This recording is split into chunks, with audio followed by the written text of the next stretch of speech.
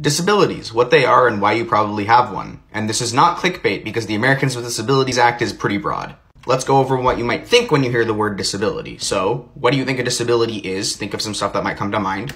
And then, what do you think a disability isn't? Think of some stuff that might come to mind. I'm going to run over some traits of what's traditionally thought of as a disability, such as something being blind or being paraplegic.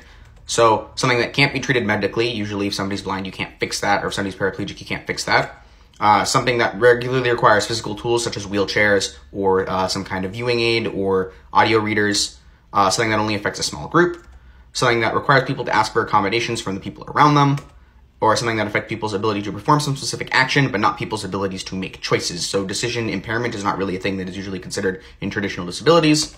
Uh, but what's legally considered a disability looks pretty different. That would be a person who has any kind of physical or mental impairment that just makes their life harder regularly uh, has a history or record of such an impairment and is perceived by others as having such an impairment. That includes any chronic illness like cancer or diabetes or arthritis, any formally diagnosed mental illness, psychiatric condition, or behavioral disorder such as anxiety, bipolar, or substance abuse, any genetic or autoimmune disorder such as autism, asthma, and most allergies, any physical mobility limitations such as cerebral palsy or back problems, any intellectual or sensory alteration, such as autism, dyslexia, or blindness that regularly requires accommodations, any chronic pain conditions, such as migraines or arthritis, or a lot of other things. The list is practically endless, and you probably fell somewhere on this list. More thinking time.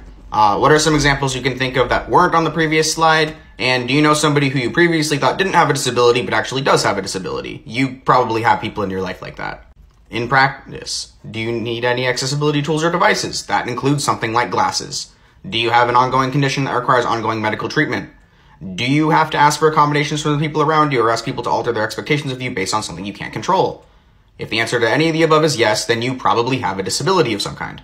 Disabilities are things that make life harder. There are a lot of things that make life harder. The term disability carries a lot of stigma because it's usually applied to people who have very obvious, very perceivable disabilities. But basically everyone has a disability of some kind. So it's good to work through the stigma on this word and get people to talk about it more and understand what disability means legally so that they can more accurately and more precisely ask for accommodations in their workplaces.